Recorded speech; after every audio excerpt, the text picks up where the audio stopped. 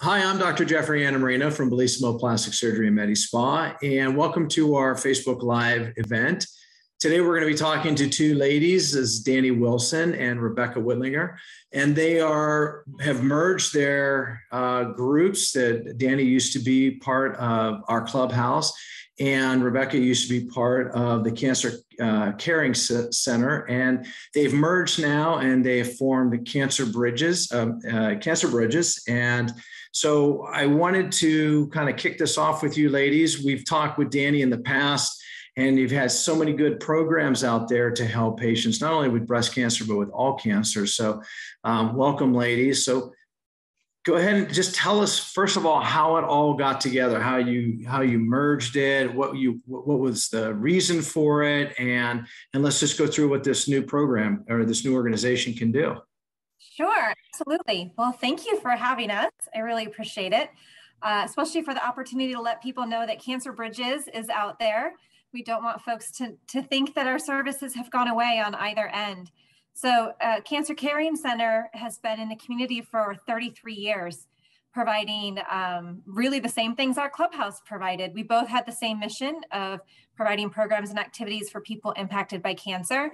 We both had completely free services there were a couple of differences that made our organizations really complementary to each other. So at our clubhouse, we have a, a, building down in the Strip District in Pittsburgh, and we focused our programs and activities in that building. And we focused on activities like our family and youth program, our health and wellness classes, our creative expression classes in the art studio. And Cancer Caring Center focused in the community. It's just, they had some some activities in their building, but for the most part, they were very expansive and went from um, Pittsburgh to Penn State and had a lot of support groups all over. And so by combining, we're giving the, the patients and the members, the clients, folks impacted by cancer in Pittsburgh, one place to go for all of the services that we provide. Rebecca, do you want to add anything? Well, that's a beautiful um, and succinct explanation. I mean, really, we wanted to merge because it's a it's a wonderful union of two great agencies. We were making referrals to our clubhouse because we weren't doing children's programs. Um, they made referrals because we were out in the community prior to COVID. So it was a merger we worked on and off for a few years. You know, each agency was super busy, but knew that we would eventually make this a reality. And that reality happened September 7th. So it's pretty new, but Cancer Bridges, and we just want to invite everybody on our social media and to tell people we're here just as we always have been. And we just have more services and we haven't cut anything. We've expanded and we'll continue to do so because guess what? Covid it makes people need us even more because there's fear and isolation and we want to help people. We're good and we're free. Well listen that, that i mean that's fantastic because it it allows people to find your the way to the to your sort of in-house um, programs, but also out in the community. And so I, I think that's fantastic. I, I, mean, honestly, I couldn't be happier. Um, I, I just think it's so important to have these support groups and for anybody, not only just the the the cancer patients, but also their families and and their support groups to be able to come and express themselves and to you know uh, learn more about so they can be better support systems. So uh, congratulations to the both of you, and I'm I'm really proud of both of you for that. So so you mentioned COVID, and we had talked last time, uh, last year, actually, in the in the throes of this, Dani, and, and you were still doing a lot of things, a lot of virtual things. Is it is it still are there still virtual programs for people, or is it mostly back, you know, in house or in the community, face to face? I guess is what I'm asking. Yeah, so we're still completely virtual. Mm-hmm. Um, and in fact, in 2020, collectively, we had 410 support groups and we had over 450 health and wellness classes and over 1100 counseling sessions. And even more that's just three three of the six buckets of programs that we provide. So we're going very strong virtually i'm providing everything we did in in the community and in the building with the exception of oncology massage. That is the only thing um, we've not figured out to do through the computer. And uh, we uh, we're not trying to figure that out either but um, yeah, we we had started to talk about maybe we could think about a little bit coming back in the building, but then the the new variant really posed a problem. And as you know, a lot of folks in our population are immunocompromised, so Right. had to be one of the first to close. We'll definitely be one of the last to reopen. Sure. But as Rebecca said, like we're providing so much and reducing that isolation and fear through Zoom and other virtual platforms that, you know, we're, we know we're still helping folks out there. Yeah, and I think as we talked about before, it it was kind of a weird situation we were all in. Everything got shut down, but it did open some opportunities, and and you have adapted. Both of you, your programs have adapted quite nicely. So in, in all reality, though, you may, as if you said, your programs have gone stronger, and you've gotten more. Uh, patients and more people tuning in because they can do it virtually and essentially connect with people and really not worry about coming in contact or risking their health and when they are immunocompromised. So you know i think it's great that you can that you can still do that. Um, so again hats off to you. Is there as you said that there there's probably some plans of maybe getting together or, or doing things in in the community face to face is that sometime in the near future or you just have to wait and see how this new variant go you know goes along we are going to wait and see. We do have a fundraising event at Rivers Casino in November, the Light Up Gala, which we canceled last year. Um, but right now we do have that in person. But again, we, we're really trying to protect the community of folks that are currently in treatment or have a family member or loved one currently in treatment. So no timetable yet for having programming in person. Okay. So again to, to kind of help get the, the word out because i don't want people to think that we're just because it is you know cancer awareness month or breast cancer awareness month but i want to make sure that everybody understands that your your program your organization treats anybody at any any cancer so you know so what are the most common other than breast cancer what else are you are you seeing as far as patients and other cancers and are there patients that are having issues just because of COVID and being locked in and feeling that anxiety? You know, are those patients coming in to see again for support, emotional support, psychological support? Um, I can do that, or Dani. Go ahead. Go ahead, Rebecca.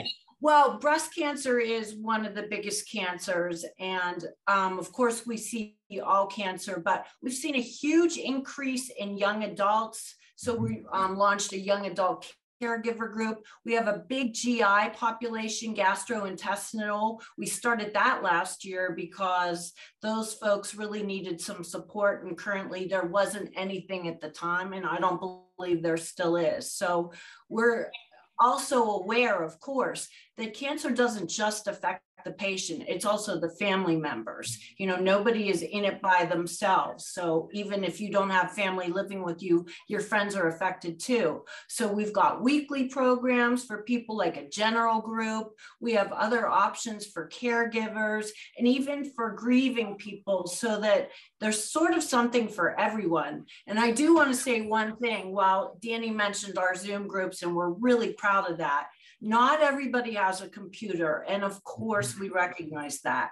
So we also do telephone counseling, which, you know, that's nice too if somebody has more of a private issue. And, you know, that's a personal touch. It's, you know, not in person, but it, it's pretty it's intimate and something that really helps our patients and their family members. And we're really proud that we've been able to reach out more during COVID because people, as Dani said, the increase in, in service requests are unbelievable with no end in sight, really. Yeah, I can only imagine. For the first time in our history, we do have wait lists for all of our clinicians. So we're working really hard to try to make sure we can serve those folks. Um, we do have a child life specialist on staff, so she counsels families and children. And her her request, actually not even request for service, the actual counseling sessions she performed has increased 382% since the pandemic started. It's just, it's just lights out. And um, the individuals have a really large increase as well.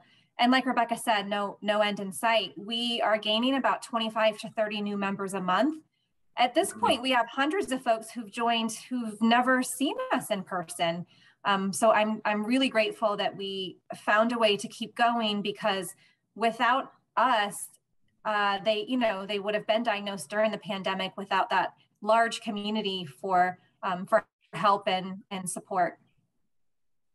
Yeah, it, I mean, it, it's, it's amazing that, um, I, I just think it's amazing that you can touch this many people and be so effective at it.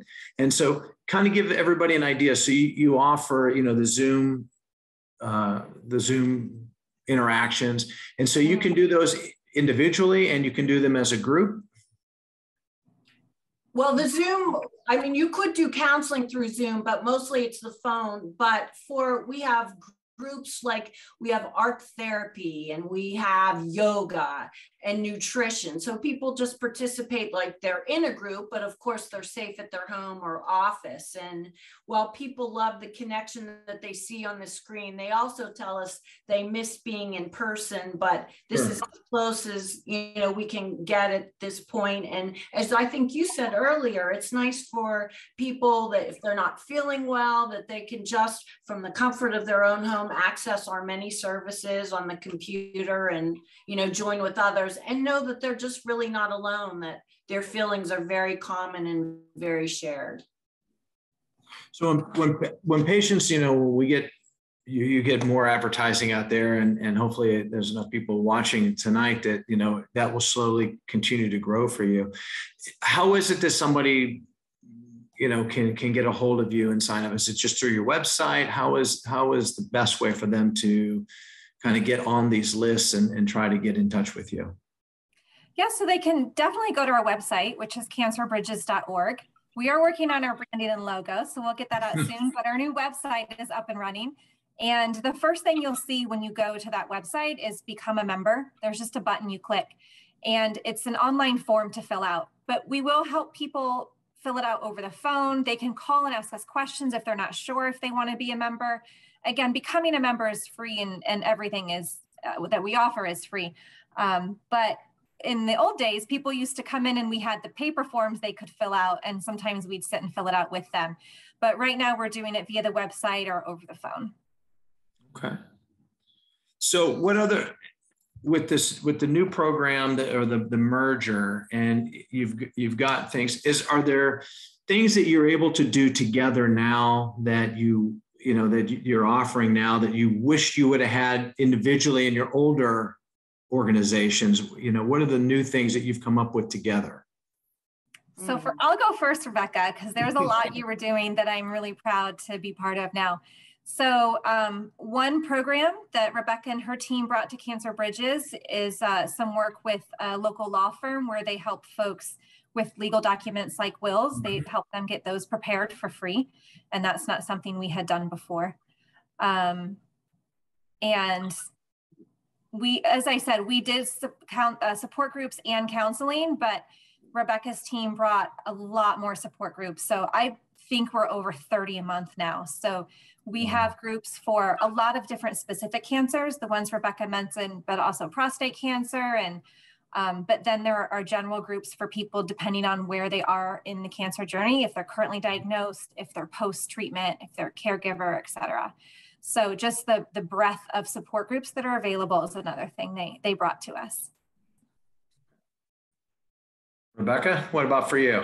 Well, I mean, I wish we had merged years ago just because it's been such a wonderful alliance. Um, we started a program program called Happy Feet, and it's a seven week exercise program. It's not something strenuous. It's more if you feel lousy, but you took 10 steps, you know, walking around your living room, that really counts for something. And it's tracked on a website, and we're really proud of that. Um, we admire and are so glad to be working directly with our clubhouse now, Cancer Bridges, for the children's programs. But as I said before, we were referring anyway. So it's just it's a wonderful union and we're excited to work together because we've been doing it informally for years is there you know virtually gives you a lot of a lot more i guess range to to draw in patients as well um, is there is there any limit to you know where somebody can call in from or, or join from? Is it most of the are you seeing in the greater Pittsburgh area, or is it extending out into the suburbs, even across over into Ohio? Anything like that? Um, we actually we have a Johnstown group, and a couple of their members had moved to Florida. So once the pandemic hit, they were able to join by Zoom and kind of update everybody because obviously they weren't traveling uh, through the state. So we don't say, "Hey, do you live in Kentucky? You can't join." But more or less, it's greater Pittsburgh and um, if people want to pop on or stay connected and they've moved, they're certainly welcome. And that's, I think once the pandemic is over, and I'm counting on it being over, um, we'll we'll do a hybrid. Like some groups will remain online because it, our patients really like that, and some groups will be in person. So that's an exciting time and something really to look forward to. Fingers crossed. Yeah, I think everybody we know has has their fingers crossed for that. But but but I think it's great. I mean, I really do that, and I can't say it enough that this the the virtual nature that wasn't as popular before all of this pandemic now I think has really brought people to you more because they feel safe. Yeah. And even afterwards, you know, they maybe they don't want to get downtown or they don't want to get into, you know, drive to, to the building. They can still, you know, take advantage of everything that you have to offer in the comfort of their own home. So there's some great benefits to that. Yeah, there's a silver lining in COVID, but I'm sure all of us wish COVID never existed. But it is true that there's been a bit of a silver lining, but we just feel so bad for our patients that really are lonely and the feelings of isolation and anxiety. But then we know that we can help them, and that's a that's a really wonderful feeling. Absolutely.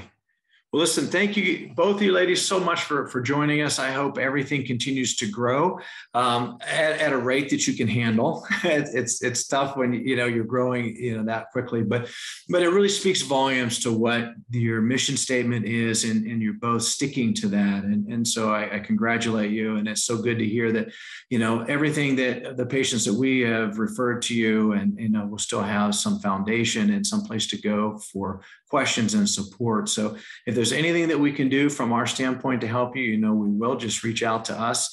Um, both of you know Ella very well, so uh, she's she's always in contact. But again, thank you, and thank you for everybody who is listening. But please check out their website, and if you know anybody who who needs some services, please, it's it's fantastic. Both these ladies are phenomenal and very caring, so I think you'll benefit from that. And we'll look forward to seeing you at our next uh, Facebook Live.